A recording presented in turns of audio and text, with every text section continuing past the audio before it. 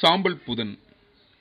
காய்ந்த குருத்தோலை சாம்பலாக்கப்பட்டு நெற்றியில் பூசப்படும் வேளை மனிதனே நீ மண்ணாய் இருக்கிறாய் மண்ணுக்கே மீண்டும் திரும்புவாய் என்னும் இறைவார்த்தை நம் உள்ளத்தை தொடுகிறது. தூயதொரு வாழ்வை வாழ நம்மை அழைக்கிறது. அவ்வழைப்பை ஏற்றுக்கொண்டு தூயதொரு வாழ்வில் நம்மை பணிப்போம் இயேசுவின் பணியில் நம்மை இணைப்போம்.